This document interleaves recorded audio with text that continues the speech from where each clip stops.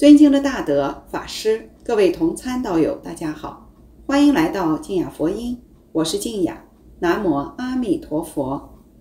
有一位莲友跟着净空老法师听经闻法，已经快十年了，可以说也算是精进。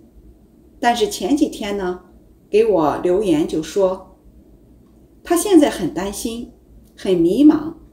对自己的往生完全没有把握，很担心到时候自己会生病，会业障现前，没有预知时至，又没有功夫成片，往生不了怎么办呢？他就退失道心了。所以我听了以后啊，我就感觉非常的遗憾，因为我们很多的师兄都是听老法师的讲经，越听。越法喜，越听越道心坚固，越听越知道今生必定往生西方极乐世界。只要信愿行具足，一念乃至十念都可以往生。那这位师兄为什么会退失道心了呢？还有莲友问：莫学因为烦恼习气非常的重，而真信切愿，必须把所有的毛病都改掉。否则不能往生。莫学有些毛病十分难改，用尽全力仍屡改屡犯，因此莫学心中常常认为自己今生往生不了了，完全没有信心。那该怎么办呢？我想这样的问题啊，在我们的莲友修行当中啊，很多人也会遇到。那今天呢，就来听一下定弘法师的开示，听完了。就给大家解开了谜团，就知道我们应该怎样去做了。你这个问题可能很多同学有啊，觉得自己啊习气毛病很重，就担心这往生不了，怀疑心就起来了。啊，这个心呢是什么呢？是业障啊又加重了。为什么呢？本来已经有很多毛病习气，这是业障，现在又加一个怀疑的业障，啊，就障上再加障，业上又加业，所以那肯定是不能往生。如果你毛病习气很重，但是对自己往生一点不怀疑，对阿弥陀佛接引你往生也一点不怀疑，那你这个凭你的信心，你的愿力。能感得佛力加持，带业往生。你的毛病习气再重，可以带业往生。凭什么带业？凭你的信愿。所以相比上之下呀，最重最重的业障是什么呢？你怀疑。对净土法门来讲，疑是最大的障碍。比那忤逆十恶那个罪还重，为什么？他直接障碍你往生。而造作忤逆十恶的人，他能悔改了啊！虽然可能他还有这个习气毛病，可能他以后还会有现行，但是他现在这个信愿具足，念阿弥陀佛，十念得生。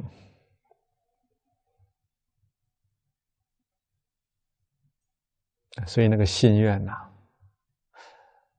能感阿弥陀佛来，就能够啊帮助你待业。嗯，所以最可贵的是信心呐，得生与否，真的全由信愿之有。这个“全”字啊，就是排他的，没有别的，只有只有这两个。你真心切愿，决定往生。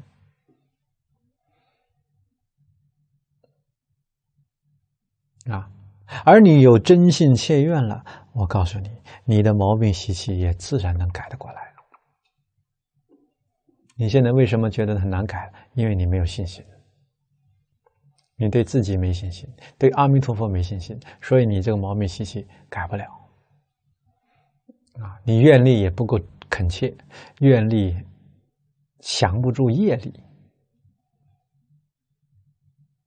那所以就是难改啊，这就真是没法子了。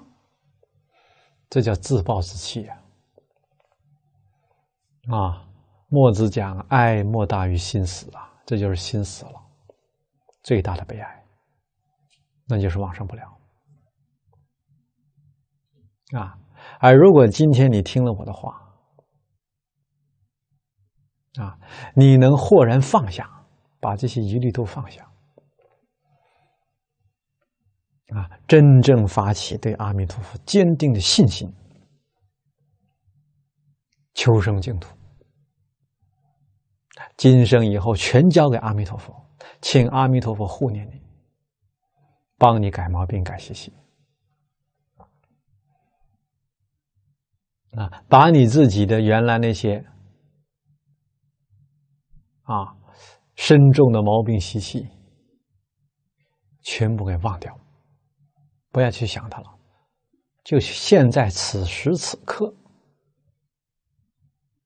你听我这个话。你发心重新做人，嗯，不再做自己安排，全由阿弥陀佛替你安排。啊，连毛病习气也交给阿弥陀佛，让他来帮助你。那你就努力改，啊，由阿弥陀佛来帮助你。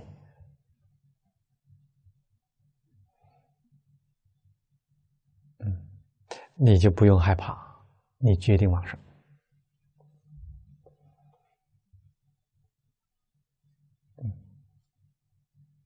啊？为什么我敢这么说？因为经上讲的啊，你能够发心求生净土啊，信愿持名，就能得十方诸佛之所护念。不退转于阿耨多罗三藐三菩提。这《弥陀经》大家念的很熟啊，你会不退转，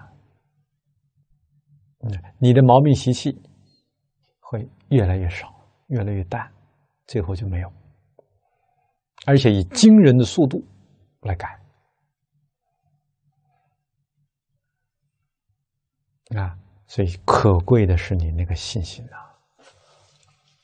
信为道源功德母啊！啊，真信得过啊，把自己完全交托，全身心投靠阿弥陀佛我信佛啊，我信自己本来是佛，现在跟阿弥陀佛。合二为一，我一定能改。那你这样发心的时候，真的阿弥陀佛就跑到你身里来了，就在你头顶恒常放光铸照。啊，你就像弥这个普贤行愿品里讲的，你这个人走在世间。啊，那一切佛菩萨来照顾你、护念你，啊，一切天地鬼神也来保佑你。不管你过去造了什么重业，现在你已经啊改过自新了，回头是岸了。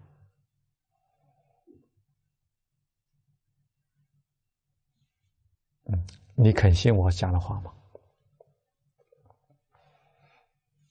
你肯信，那真是套句宗教里的话讲，你得救啊！你还在怀疑，那真的就没办法了。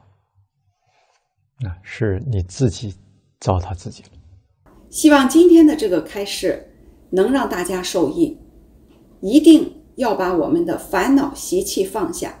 只要是信愿行三资粮具足，人人都可以往生。好了，今天的视频就分享到这里，感恩大家的收看，看后转发弘扬法布施，喜欢请点赞订阅，我们下期再见，南无阿弥陀佛。